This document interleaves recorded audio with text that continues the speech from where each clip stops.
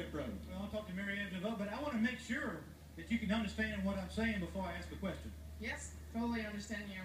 You want to speak French? Uh, no, I do not. I have a tough enough time with English, but talk about your race car. You talked about qualifying, but your car is locked in the race, and you've got uh, plenty of miles today to, to get it figured out. But how was your race car? Uh, my race car was pretty good. Yesterday was a little something. Um, we got adjusted pretty good, and then the car was really good on qualification. I didn't push it like I wanted to, but I know I'm safe for the race, so I'm going to do that in the race instead. Uh, learning process for this team and driver, and but they're locked in, so that's the good news, guys. Hey, Hermie, ask Maryeve really quick. Ask her really quick. Say, avez-vous une bonne voiture? Avez-vous what? Avez-vous une bonne voiture? On bon bonjour.